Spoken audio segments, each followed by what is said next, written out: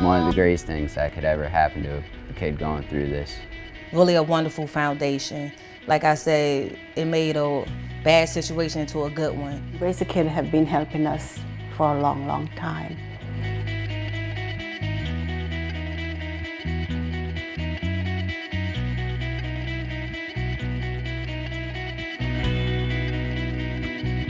To make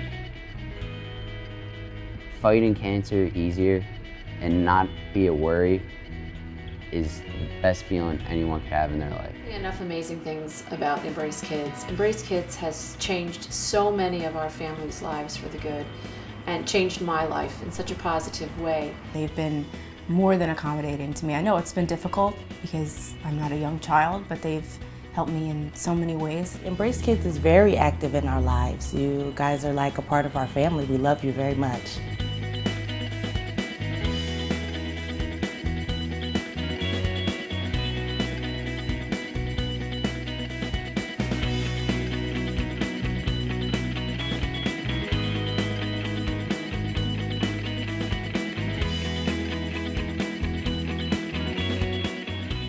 See so many great things from the child patients, their families, but then also the volunteers and donors. So my perspective is a really positive one because I see all these great attributes in people and that's what Embrace Kids does. It brings great people together to do great things. It's, it's truly hard to, to, to capture the words of, uh, of what, what it means to our family, for what you guys have done for us. I am very grateful for what Embrace a Kid have done for us, my family. The Embrace Kids Foundation has helped with his medication, also rental assistance as far anything I need help with and I and if I call Embrace Kids Foundation, it's not a problem. They definitely help any type of way they can.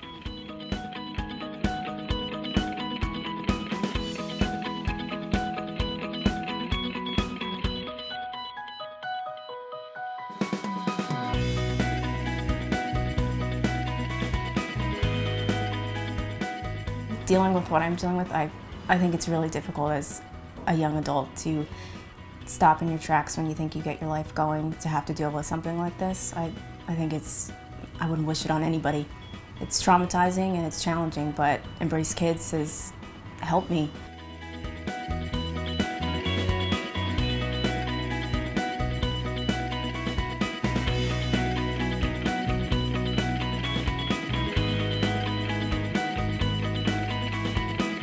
I just wish if, um, you know, more people could um, donate or contribute towards Embrace a Kid because it really changed our life. You never know like what, what day is going to be the hard one.